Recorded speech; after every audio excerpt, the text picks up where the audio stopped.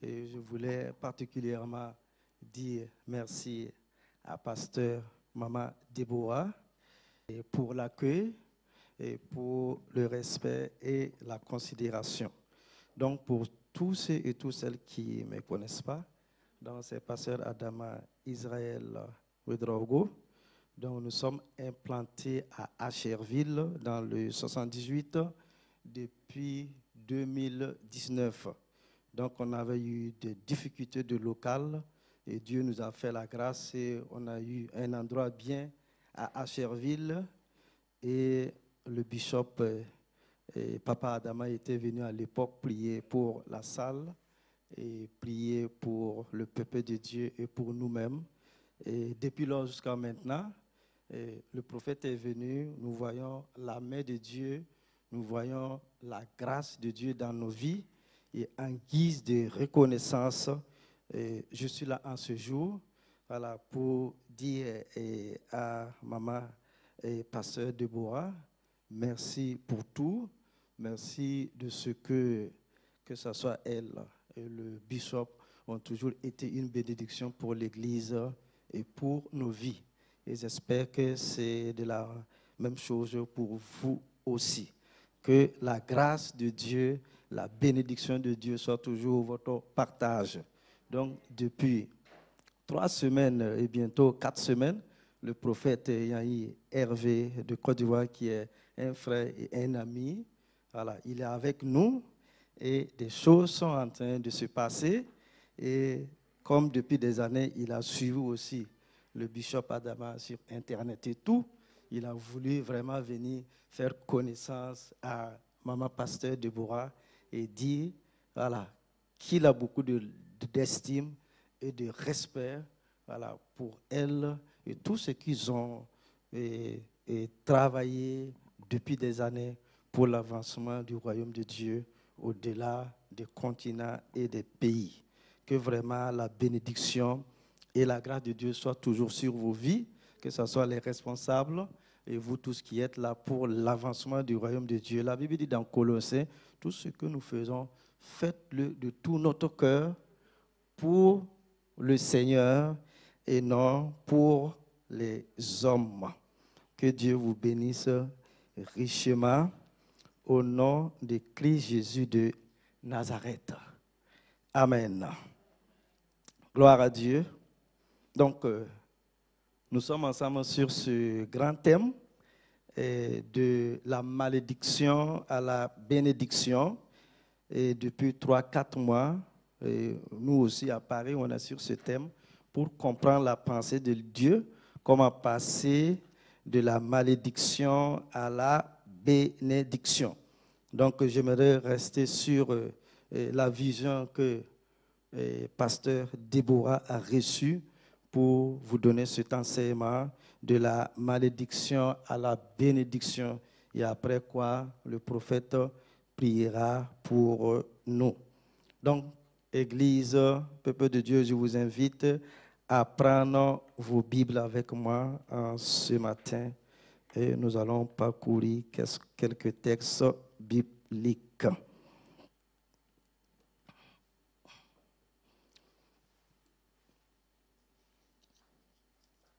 Donc, l'enseignement de ce matin, de la malédiction à la bénédiction. Et nous savons tous qu'un jour, Dieu a tiré un homme. Sinon, Dieu a appelé un homme du nom d'Abraham et Dieu a dit, je te bénis, je bénis les enfants de tes enfants. Celui qui te bénit, il sera béni. Celui qui te maudira, c'est moi Dieu qui le rencontrera sur son chemin. Et comme texte biblique de référence, nous lisons dans Néhémie au chapitre 13, les versets 2. Parce qu'il n'était pas venu au devant des enfants d'Israël avec du pain et de l'eau, et parce qu'ils avaient appelé contre eux à prix d'argent Balaam pour qu'il les maudit, mais notre Dieu changea la malédiction à bénédiction. Deuxième texte, Ésaïe chapitre 9, les versets 2.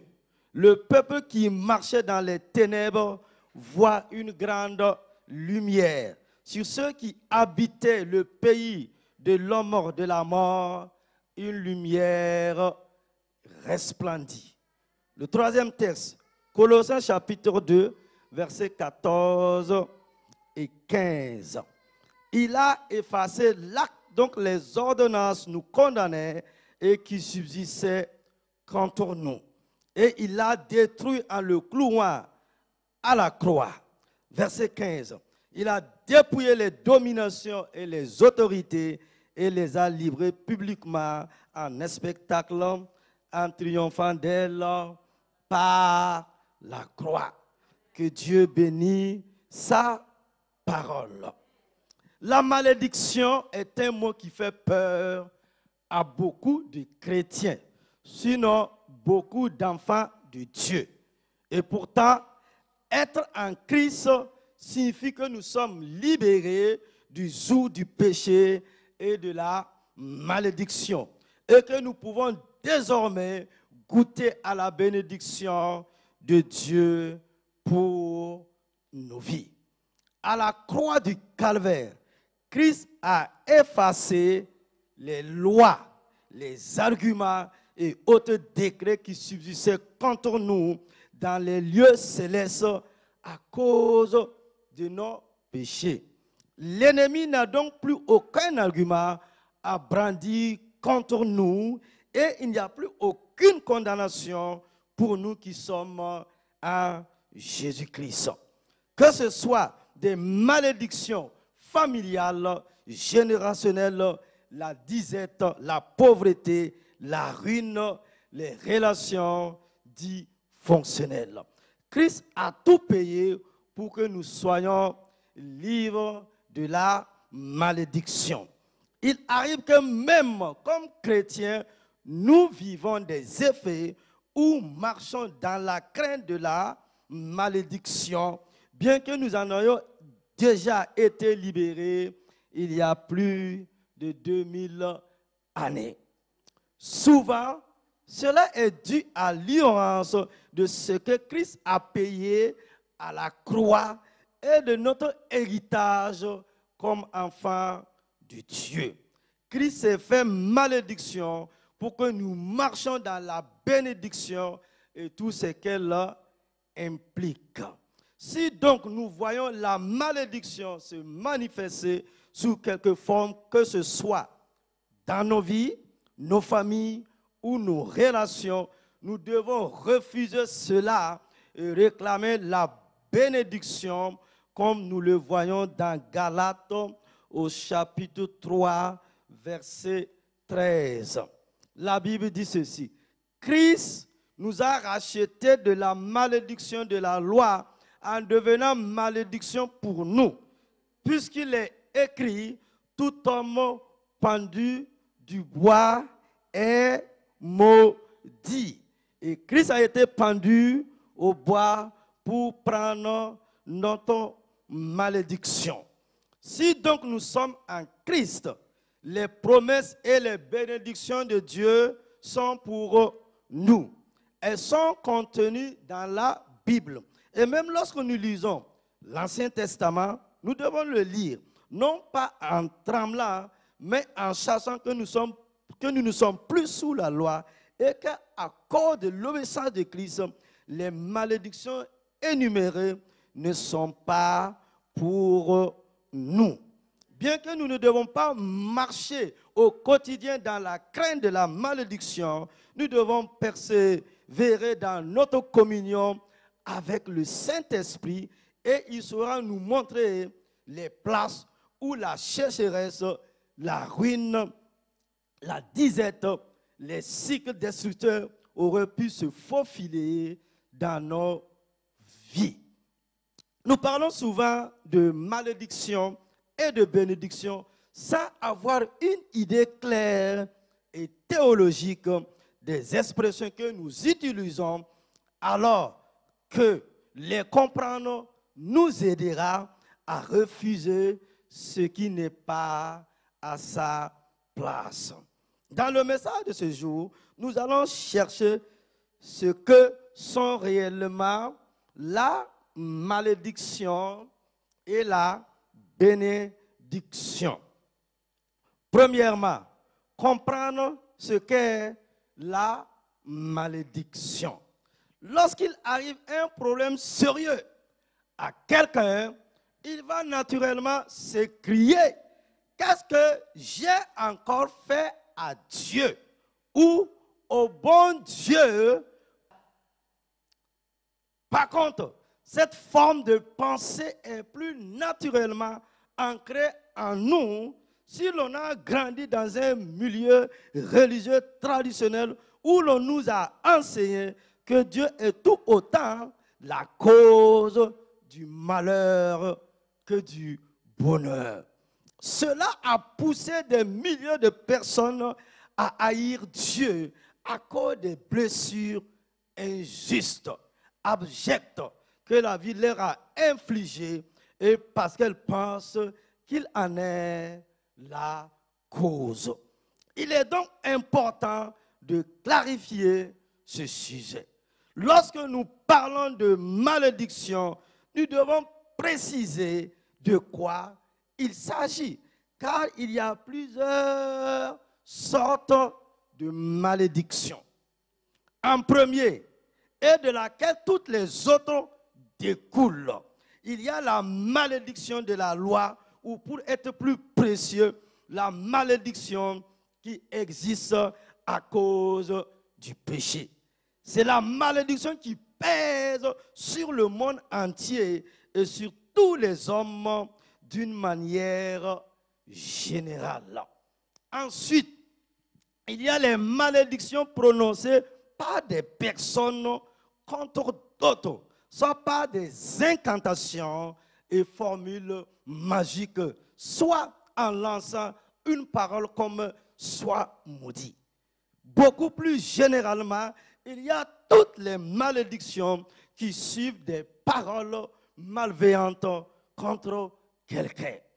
Donc, on ne mesure pas toujours la portée. Et voici ce que l'apôtre Paul nous dit dans Éphésiens au chapitre 4, le verset 29.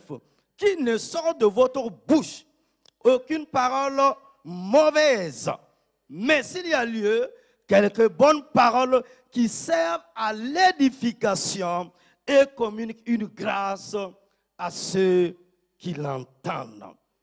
Et l'apôtre Jacques continue au chapitre 3, le verset 10. De la même bouche sortent la bénédiction et la malédiction. Il ne faut pas, mes frères, et moi j'ajoute mes sœurs, qu'il en soit ainsi dans la maison du Dieu. Nous allons voir la malédiction de la loi.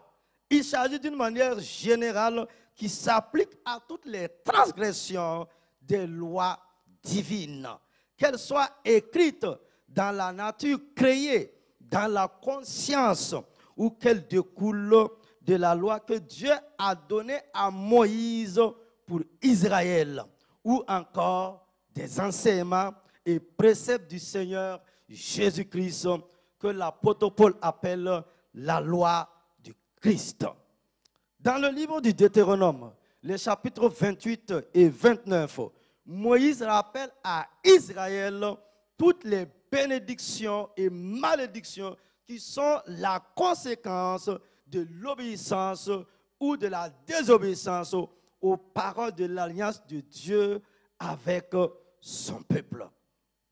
Voici toutes les bénédictions qui se répandront sur toi et qui seront ton partage lorsque tu obéiras à la voix de l'Éternel, ton Dieu.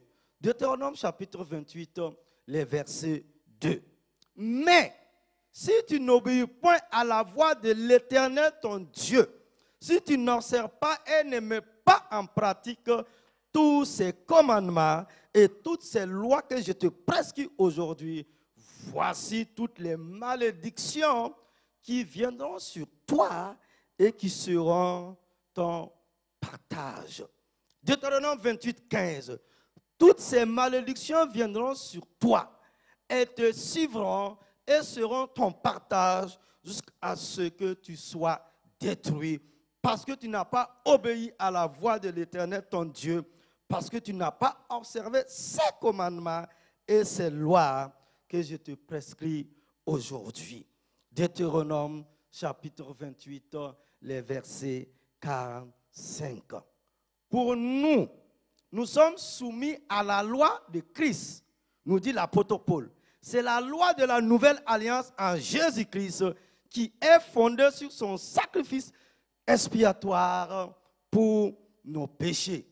Elle renferme les enseignements et préceptes de Christ transmis par ses apôtres et prophètes, auxquels nous sommes soumis à la foi et l'obéissance de la foi. Elle n'exclut en rien l'autorité de la loi morale que Dieu a transmise par Moïse et donc les principes sont écrits dans notre conscience. Nous le voyons dans 1 Timothée chapitre 2, les versets 8 et 11, où l'apôtre Paul parle à son fils, le pasteur Timothée. Nous n'ignorons pas que la loi est bonne, pourvu qu'on en fasse un usage légitime, sachant bien que la loi n'est pas faite pour le juste, mais pour les méchants et les rebelles, les impies et les péchés, les irréligieux et les profanes, les parricides, les meurtriers, les impudiques, les infâmes, les voleurs d'hommes, les menteurs, les parjures et tout ce qui est contraire à la saine doctrine, conformément à l'évangile de la gloire du Dieu bienheureux, l'évangile qui m'a été confié. Ah, c'est fort ce que l'apôtre Paul nous dit ici.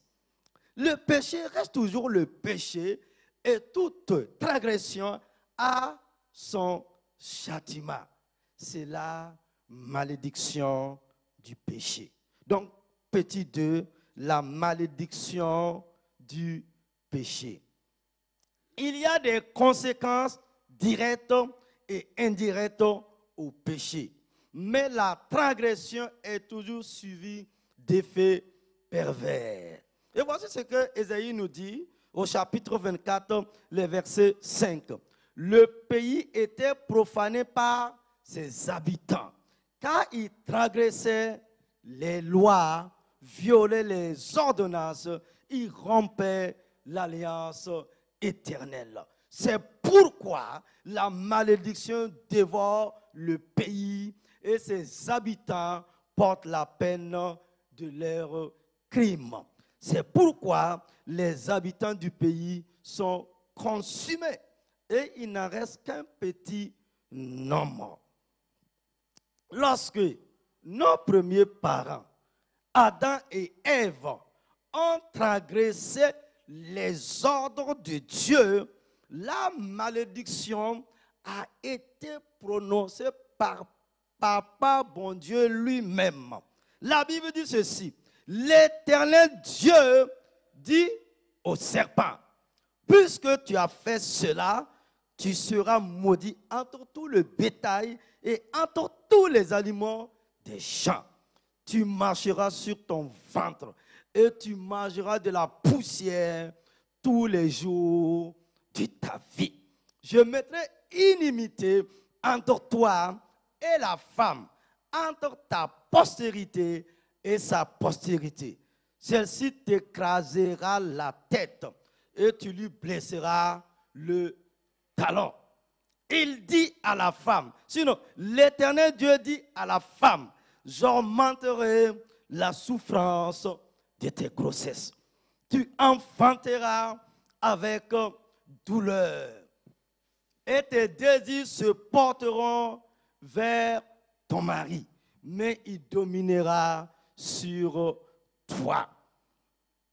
Maintenant, l'éternel Dieu dit à l'homme, puisque tu as écouté la voix de ta femme et que tu as mangé de l'arbre au sujet duquel je t'avais donné cet ordre, tu n'en mangeras point.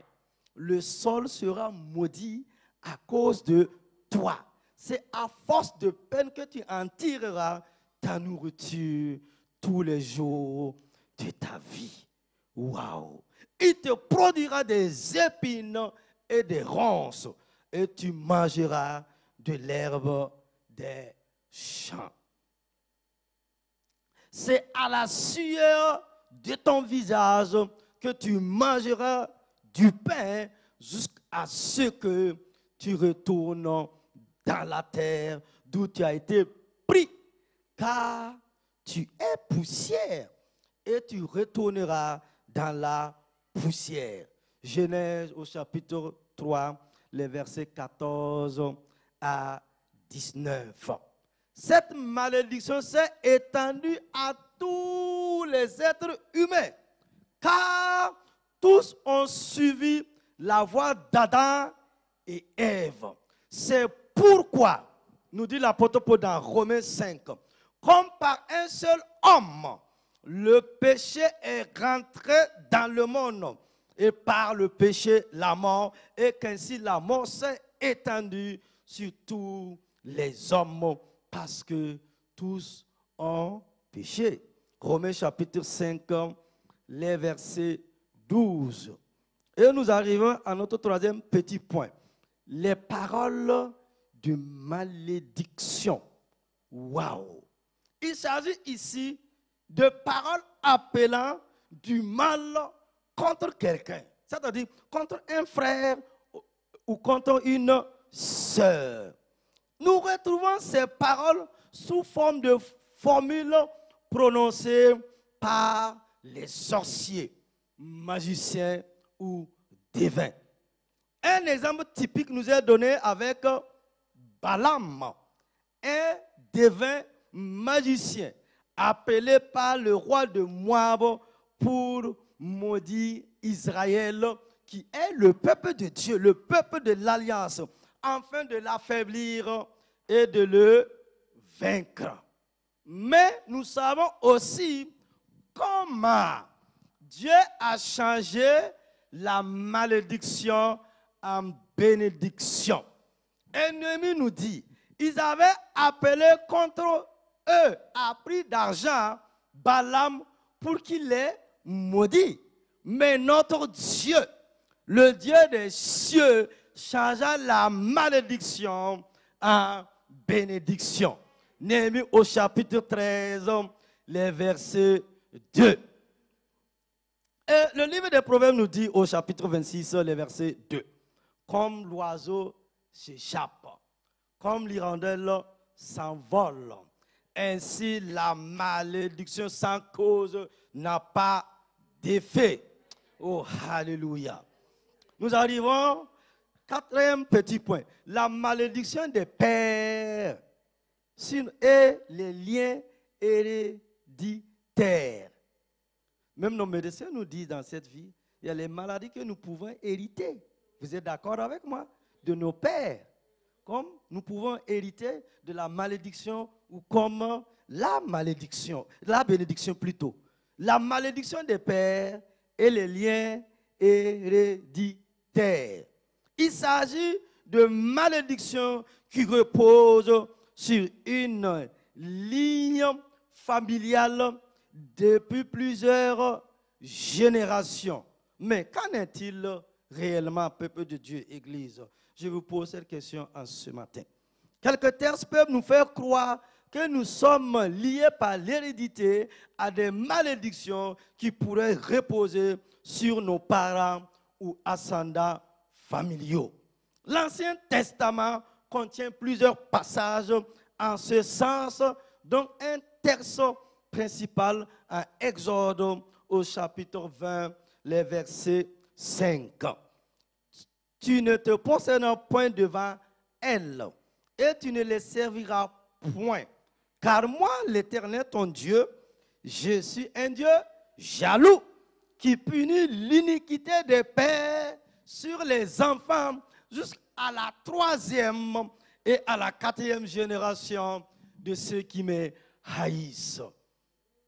Éternel, qui conserve son amour jusqu'à mille générations, qui pardonne l'iniquité, la rébellion et le péché, mais qui ne tient point le coupable pour innocent et qui punit l'iniquité des pères sur les enfants et sur les enfants des enfants jusqu'à la troisième et à la quatrième génération.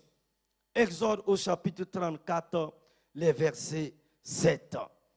Il s'agit d'une parole précise concernant le peuple de l'alliance que Dieu a faite avec Israël, selon la conclusion des paroles que Moïse recevait sur la montagne avec les tables de la loi. L'Éternel dit à Moïse, sinon l'Éternel Dieu dit à Moïse, écris ces paroles, car c'est conformément à ces paroles que je traite alliance avec toi et avec Israël. Toujours dans Exode chapitre 34, les versets 27. Cependant, il y a une loi naturelle qui fait que si les pères mangent des raisins verts, les dents des enfants en sont agacées. C'est-à-dire que les fautes des parents ont des conséquences sur les enfants. La création toute entière est solidaire de la malédiction liée au péché.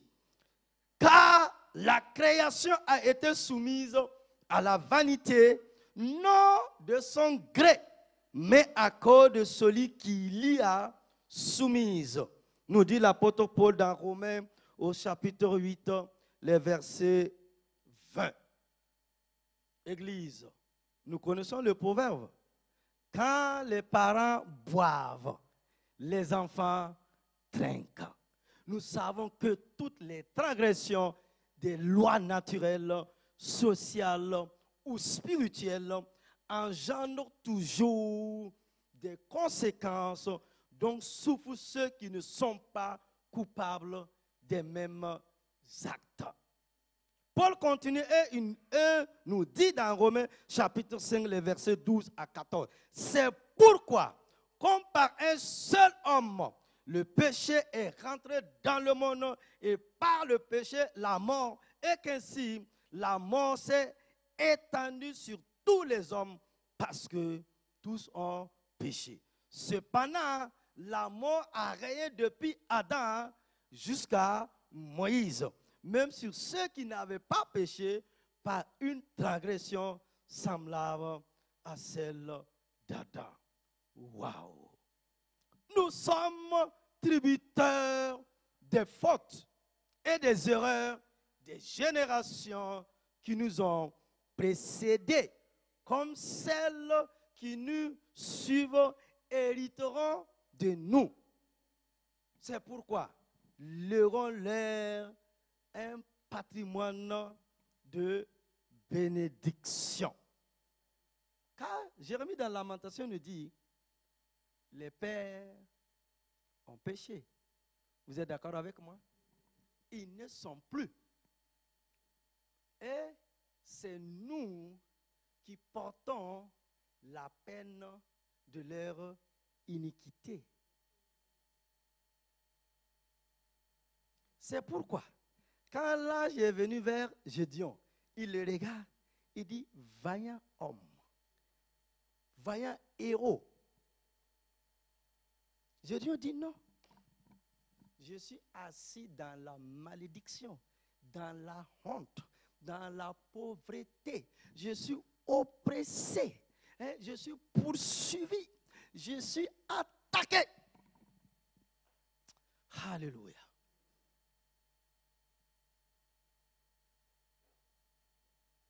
Et Dieu lui dit, dans la maison de ton père, il y a Baal.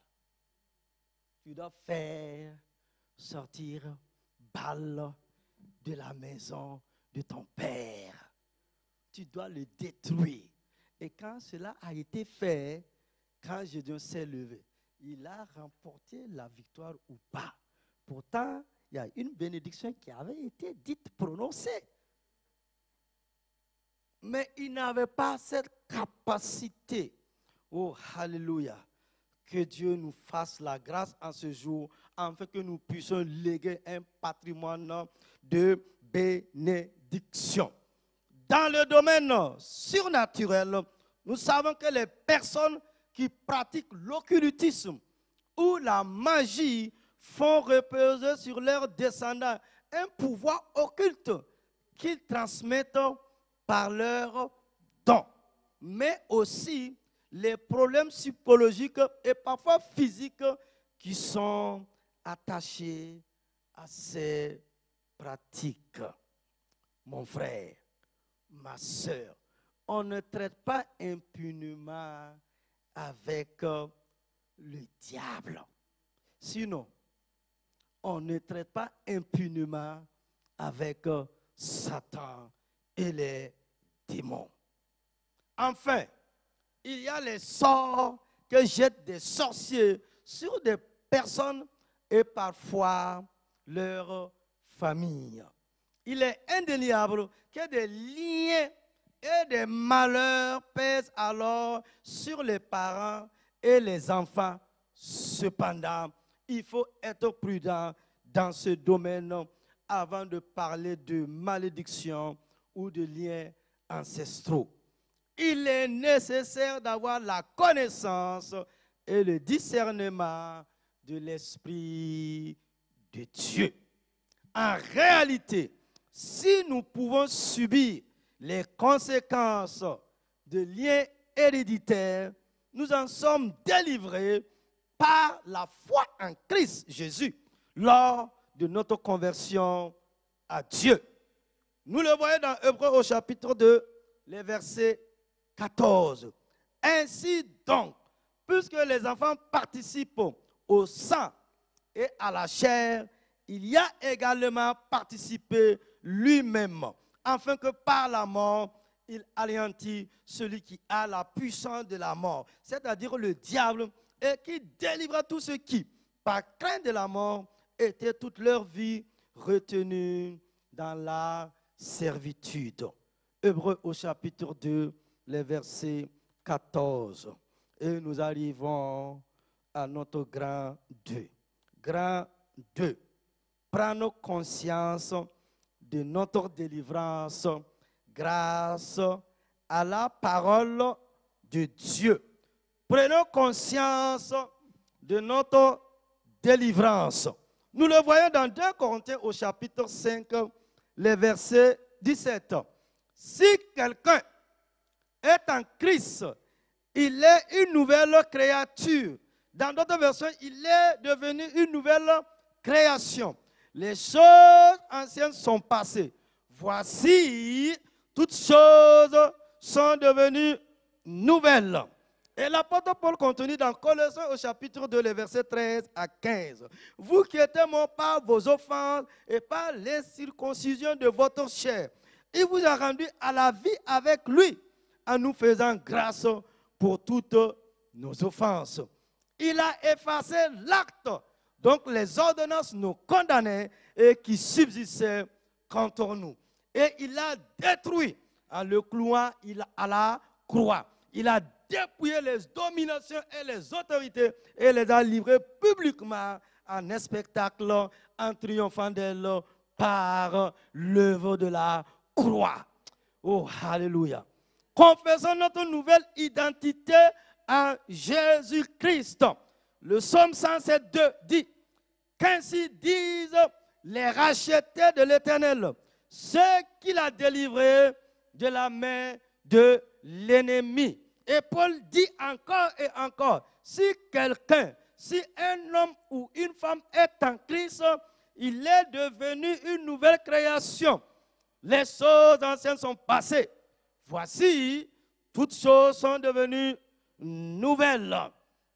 Et qu'est-ce que nous devons faire encore? Rendons grâce à notre Père céleste. Cela est très important. Nous devons apprendre à rendre grâce à Dieu, à bénir son Saint-Nom pour sa fidélité, pour son grand amour dans nos vies. Et Paul nous dit dans Colossiens chapitre 1, le verset 12, rendez grâce au Père qui vous a rendu capable d'avoir part à l'héritage des saints dans la lumière, qui nous a délivrés de la puissance des ténèbres et nous a transportés dans le royaume du Fils de son amour, en qui nous avons la rédemption, la rémission des péchés. Apocalypse chapitre 1, le verset 5. À celui qui nous aime, qui nous a délivrés de nos péchés par son sang et qui a fait de nous un, un royaume des sacrificateurs pour Dieu son Père. À lui soit la gloire et la puissance au siècle des siècles. Car Jésus nous a rachetés de toutes les malédictions. Il est écrit que le Seigneur Jésus-Christ a détruit l'acte de condamnation qui pesait sur nous sous Christ a détruit l'acte de condamnation qui faisait peser sur nous la malédiction de la loi. Il a effacé l'acte dont les ordonnances nous condamnaient et qui subsistait contre nous. Il l'a détruit en le clouant à la croix. Il a dépouillé les dominations et les autorités et les a livrés publiquement en un spectacle en triomphant d'elles par la croix. Ici, dans Colossiens chapitre 2, les versets 14 et 15, l'apôtre Paul nous montre la voie de la délivrance, la voie de la guérison, la voie de la, de la, manifestation de la réalité, de la puissance de Dieu dans nos vies, afin que nous soyons un peuple béni, restauré et délivré pour manifester la puissance du royaume et être comme Jésus qui est notre modèle. Je vais conclure l'enseignement de ce matin. Conclusion. Quelle que soit la malédiction dont nous avons été l'objet, rappelons-nous que le salut, c'est-à-dire la délivrance, est à Dieu qui est assis sur le trône céleste et à l'agneau de Dieu, Jésus-Christ, notre Seigneur. Recevons et gardez par la foi notre victoire et rendons-lui grâce. Comme nous le voyons dans le psaume 107, 13 à 16. Il les fut sorti des ténèbres et de l'ombre de la mort, et il a rompu leurs liens. Qui loue l'Éternel pour sa bonté et pour ses merveilles en faveur des fils de l'homme. Car il a brisé les portes d'airain, il a rompu les verrous de fer. Christ a porté notre malédiction. Christ nous a racheté de la malédiction de la loi, étant devenu malédiction pour nous.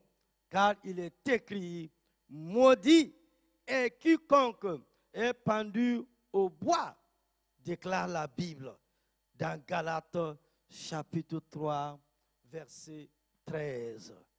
À la croix, Christ a porté nos maladies, nos infirmités, la malédiction et toutes ces choses que les sorciers, les hommes de mauvaise foi avaient incantées et dit dans nos vies.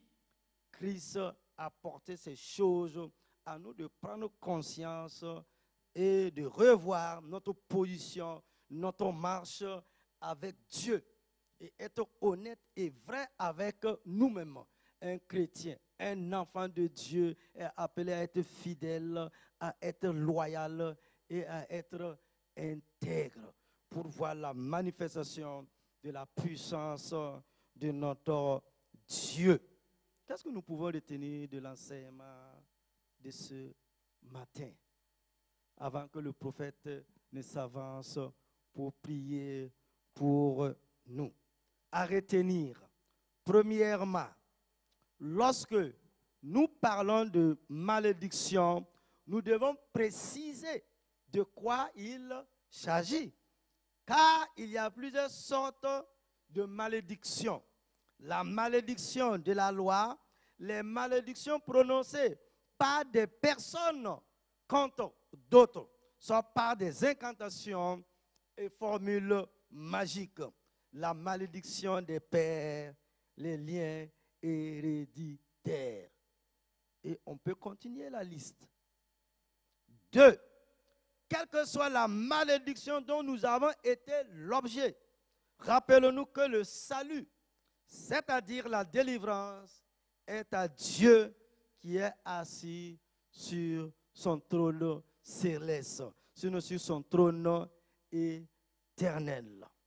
Trois, recevons et gardons par la foi notre victoire et rendons-lui grâce, comme nous le voyons dans le psaume 107, les versets 13 et 16.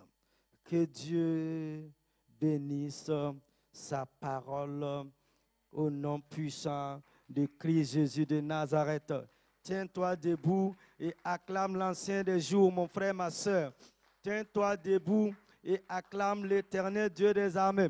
Je veux voir quelqu'un debout, de la malédiction à la bénédiction.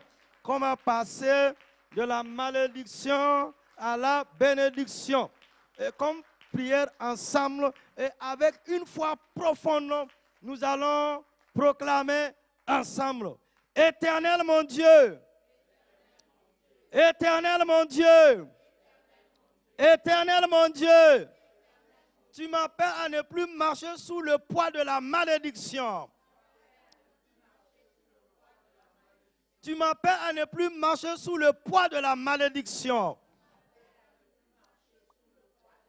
Et à prendre conscience que ton fils Jésus a déjà tout fait à la croix. À la croix. Je veux proclamer ce matin ma délivrance en ton fils Jésus. Je veux proclamer ce matin ma délivrance en ton fils Jésus.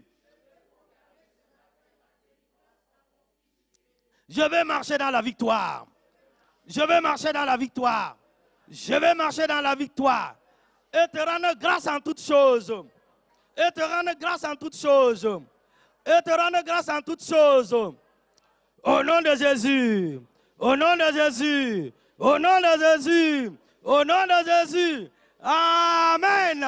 Quelqu'un peut dire avec moi Amen. Amen. Amen. Que toute la gloire et l'honneur reviennent à notre Dieu. Amen.